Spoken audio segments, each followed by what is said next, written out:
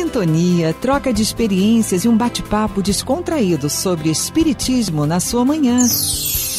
Deusa Nogueira explica a mediunidade em nosso dia a dia. Começa agora na sua Rádio Rio de Janeiro, o programa, o programa Conversando, sobre, sobre a mediunidade. Queridos amigos ouvintes da Rádio Rio de Janeiro, meu nome é Deusa Nogueira. Estamos nós conversando sobre a mediunidade pelas ondas generosas da Rádio Rio de Janeiro, chegando ao coração de todos os ouvintes e procurando, e o objetivo é este, ajudar a todos nós, a todos nós mesmos, nesse exercício da mediunidade com Jesus. Aliás, é o nome do livro que está servindo de base para os nossos comentários. É um livro do Espírito Carlos, através do médium Roberto Lúcio de Souza. E hoje nós temos o capítulo 19, cujo título é Mediunidade à Porta. Olha que interessante, não é, amigos? E o dito bíblico é assim: Eu sou a porta. Se alguém entrar por mim, salvar-se-á, e entrará, e sairá, e achará pastagens. É palavra de Jesus, anotadas por João, capítulo 10, versículo 9. E aí o nosso irmão Carlos vem falando assim: a porta é elemento constituinte da casa, que é básico para as comunicações. E é isso, né? É da, da, através da porta que a gente passa de um cômodo para o outro, né? É através da porta que muitas vezes, para falarmos com alguém em outro cômodo, a gente vai chegando junto à porta, e a porta é interessante, que é um compartimento íntimo, né? A janela dá para o exterior, embora tenha quase sempre uma ou duas portas que deem para o exterior, mas as outras portas, elas fazem parte da estrutura íntima de uma casa. Então, ele continua que através dela, quer dizer, através da porta, saímos e entramos em um umbral perfeito do intercâmbio entre o mundo interno e o mundo externo.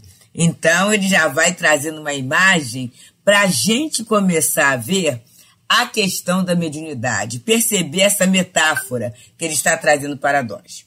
E ele coloca: a mediunidade é também como uma porta através dela, vislumbramos a realidade da vida após a morte e constatamos a sobrevivência da alma e a ação dos espíritos na vida. Muito bom!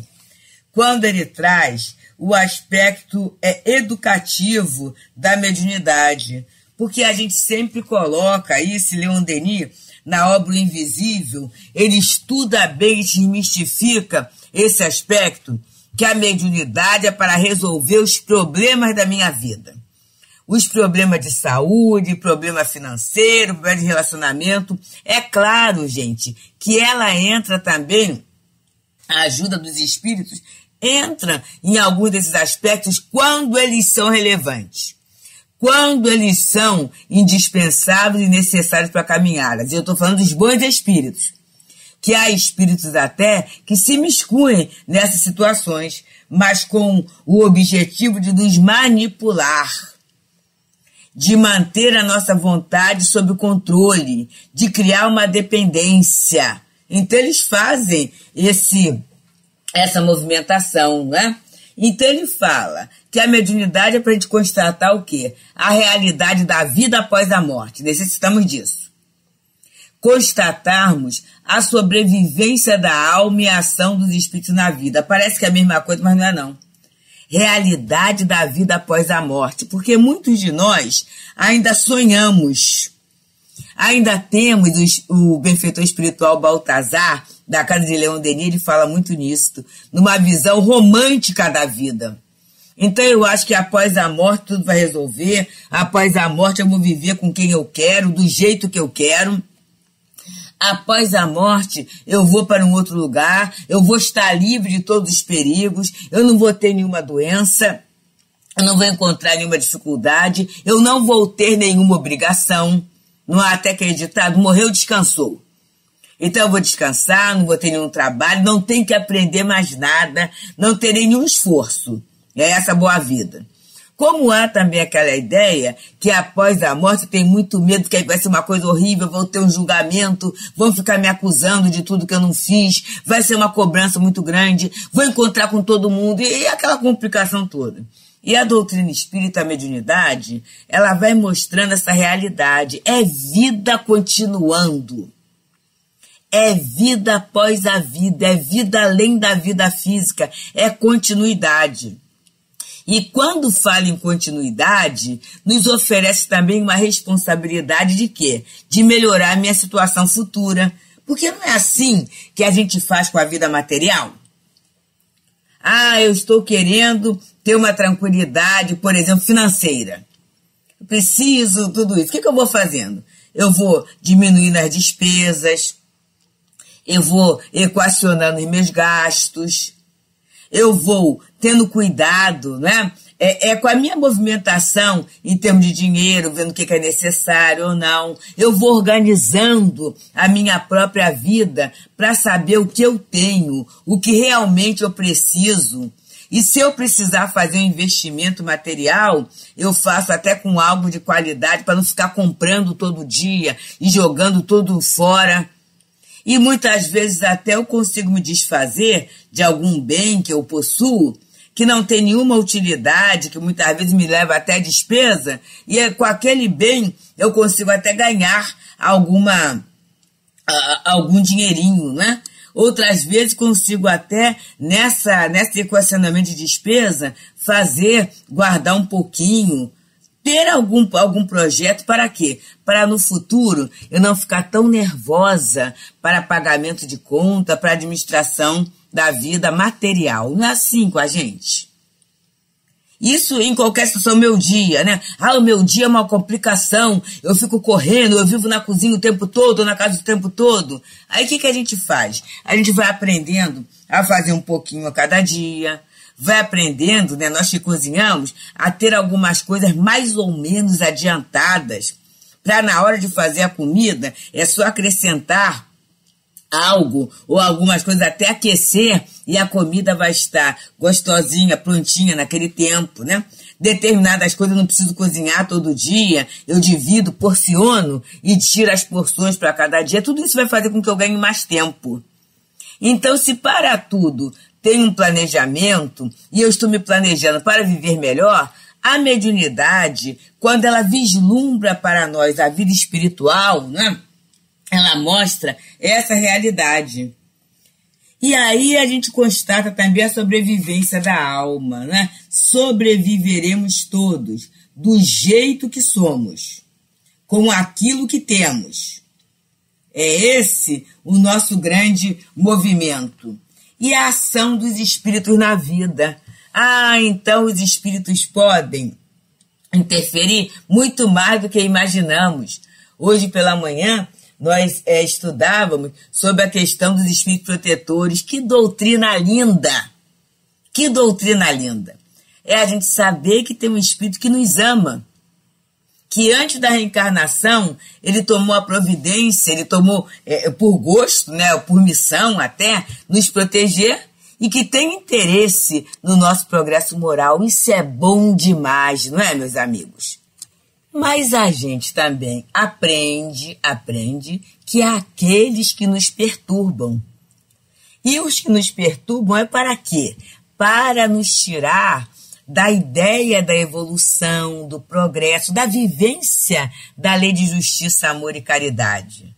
Então eu começo a ficar atenta acerca dessa, dessa sociedade espiritual que me cerca. E aí eu começo a ter uma possibilidade de seleção, de escolhas, através dos meus pensamentos, sentimentos, atitudes, palavras, não é? E ele continua a falar para nós. Da mesma maneira que existem portas de diversos formatos e tamanhos, o fenômeno mediúnico apresenta-se com características das mais diferentes, embora com a mesma função. E qual é a função que ele fala aqui? Vislumbrar a realidade da vida após a morte, constatar a sobrevivência, mostrar a ação dos espíritos na vida. Então, na verdade, o fenômeno mediúnico, ele tem uma função educativa para todos nós. Não é uma função é, para a curiosidade, para o divertimento, para a futilidade, não. É para a nossa educação, para a gente tomar consciência da realidade da vida. A vida não é uma brincadeira. Não é uma brincadeira. Então a gente vai tendo uma proporção do que é a nossa vida. E aí ele continua a nos falar. Mas antes disso, estamos na Rádio Rio de Janeiro, no programa Conversando sobre a Mediunidade. E hoje estamos no livro Mediunidade com Jesus, pelo Espírito Carlos, é, estudando a mensagem 19, que fala assim: mediunidade à porta. E aí continua, é o companheiro Carlos a nos falar. Entretanto, se a porta mantém-se fechada, sem possibilidade de fazer-se vão, para nada servirá, senão como empecilho para a comunicação entre dois espaços. E aí a gente sabe que a porta fechada, e ou se a porta não tiver um sentido útil, não adianta. Eu estou lembrando agora, me perdoe os companheiros, é, dividir esse aspecto da nossa intimidade, né, da nossa vida. Esta casa que hoje nós moramos, ela foi, ela faz parte do espólio do Barão do Rio Branco. Então é daquelas casas é, antigas, né? A data dela atual é 1950 então, quando. E nós compramos por um financiamento. Quando a arquiteta veio para analisar o espaço, ela falou assim: Meu Deus, sete portas no mesmo espaço, e ela até riu. É a casa das portas. Por quê? Tinham portas que não tinha sentido. E aí, o que que nós fizemos após a obra, né? Nós só mantivemos as portas que serviam de comunicação entre cômodos. Aquelas que estavam ali fechadas, que não tinham utilidade para nada, nós eliminamos e assim nós ganhamos um espaço útil. E vamos colocar na mediunidade. Essa, essa, essa mediunidade se mantém fechada, aqui é a utilidade. É aquela criatura que tem medo de trabalhar mediunicamente, ignorando através do estudo que trabalhando ou não mediunicamente, todos nós influenciamos e somos influenciados.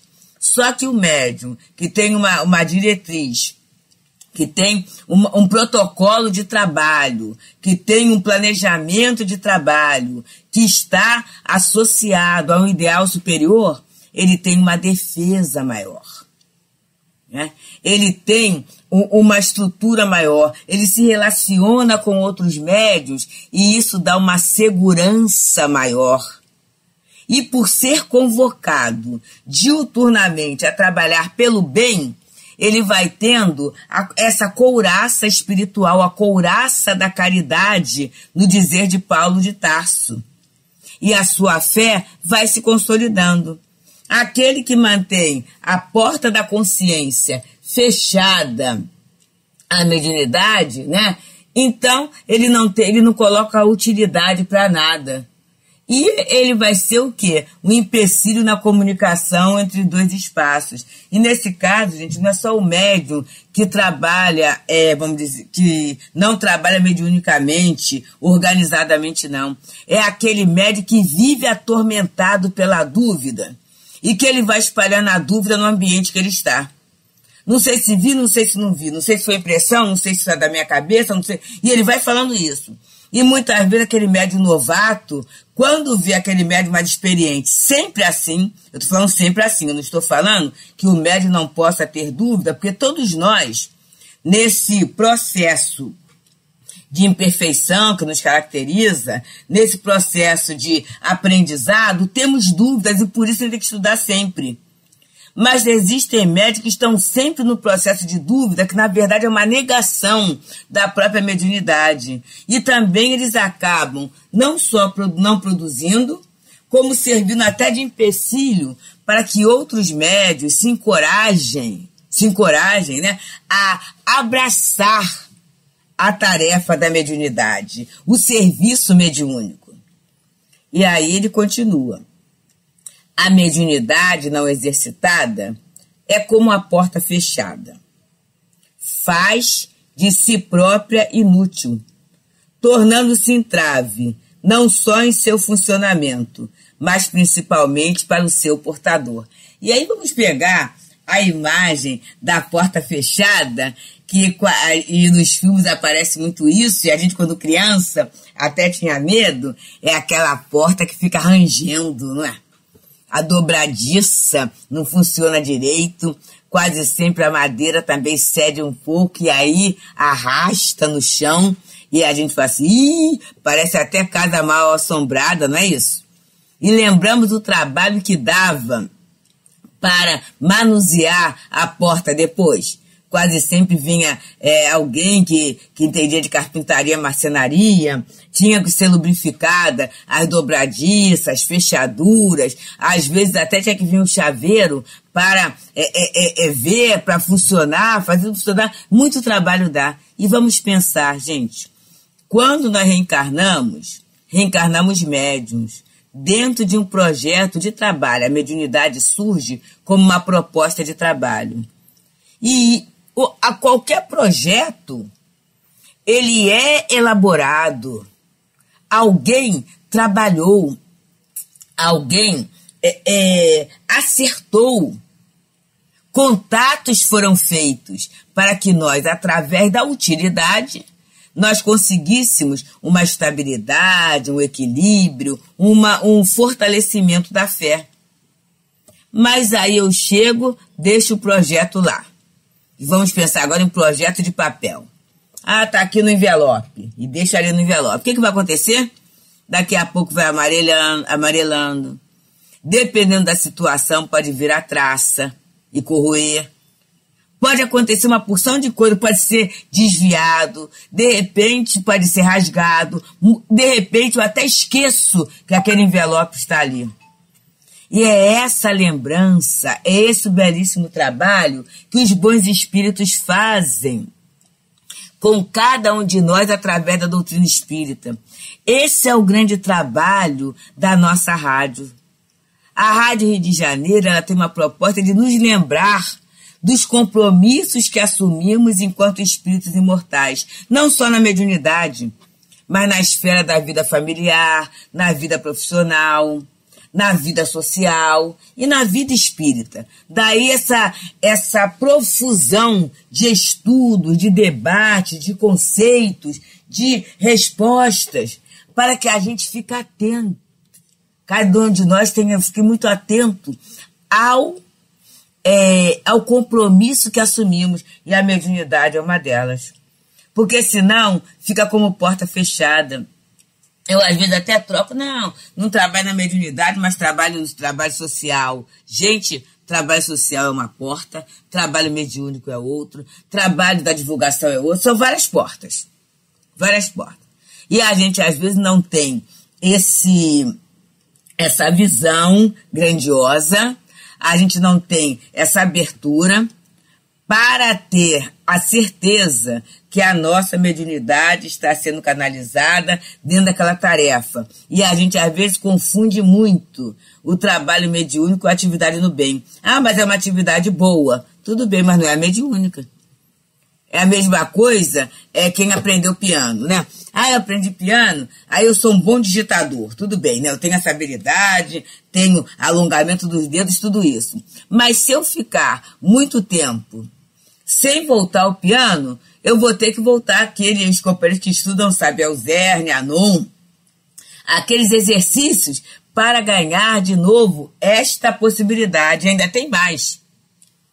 E na hora de tocar, eu vou ter que me retrapalhar na sensibilidade para uma interpretação musical que seja agradável. Olha só, porque eu perdi, e a pessoa fala assim, eu perdi a mão, eu perdi o tom. Eu perdi aquilo.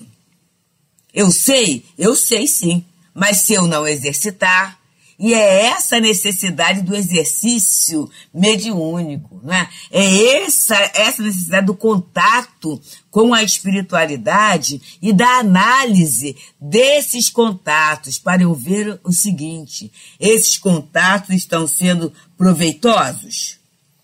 Esses contatos estão servindo para mim ou para o meu próximo? Para. a constatação da sobrevivência, eu a cada momento estou mais consciente dessa realidade da vida após a morte, dessa sobrevivência da alma. Cada momento eu estou mais vigilante, é, mais atento à interferência dos espíritos na minha vida no dia a dia. E estou é, é, olhando mais o meu, pens o meu pensamento percebendo aquele sentimento que surge de uma forma estranha? Eu estou atento a tudo isso? Ou eu estou deixando que a vida me leve? Eu estou, eu só penso que eu sou médium na hora que eu estou no centro. Isso também é manter a, a porta fechada. Estou analisando, meus queridos, o, o meu relacionamento durante o sono físico. Com o que é que eu sonho?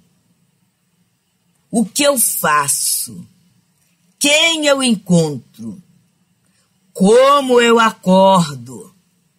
São fatores importantíssimos e que o estudo da doutrina espírita vem clarificar para todos nós, todos nós que quisermos. E o irmão Carlos vai falando, irmão, que tem a mediunidade a lhe instrumentar a vida. Lembre-se, se não exercê-la, as energias inertes em si crescerão em volume por causa de sua imobilização e provavelmente em breve ela pressionará toda a estrutura, provocando distúrbios em toda a sua organização. Sigamos o exemplo do Cristo no trato com companheiros de outras esferas estejamos sempre atentos e aptos, como portas abertas em sentimentos nobres, permitindo que aqueles que atravessam nossos umbrais encontrem no interior recursos que promovam a melhoria necessária em sua vida. Então, esse é o objetivo da mediunidade, né? Encarnados e desencarnados, que passem por nós possam encontrar alguma coisa boa, possam levar algo de bom. Então, ele fala que alguma coisa. Se a gente não exerce a mediunidade, as nossas energias vão crescer em volume, né? E vai pressionando a estrutura, é, é, é promovendo distúrbios, são as chamadas doenças fantasmas. Porque existe um fluido específico, né? Para ser é, manipulado, usado através da, da atividade mediúnica. Quando esse fluido não é usado, o que, que acontece? É água parada. Não é isso? Acaba gerando o quê? Aquele é ferrugem, mofo, né? Acaba ao invés de ajudar, porque a água tem um fator é, belíssimo, que é higienizar, que é ajudar, que é dar vida, ela acaba produzindo o quê? Deterioração. Então vamos ter cuidado, gente, em bem utilizar esta é, essa possibilidade magnífica que o Senhor nos ofertou, que é a da mediunidade. E lembremos sempre, como médios, como espíritas e como cristãos, a gente tem esse compromisso de todos aqueles que se aproximarem de nós, encarnados ou desencarnados, levarem uma gotícula que seja um átomo que seja, de melhoria, de esperança, de paz, de fé, de Deus, de Jesus. É este o papel da mediunidade em nossas vidas. É isto que nós vamos intermediar. Porque, como diz Paulo, nós, Paulo de Tarso, nós não pregamos a nós mesmos, mas sim a Cristo Jesus. Muita paz. Deusa Nogueira explica a mediunidade em nosso dia a dia. Programa Conversando sobre a Mediunidade.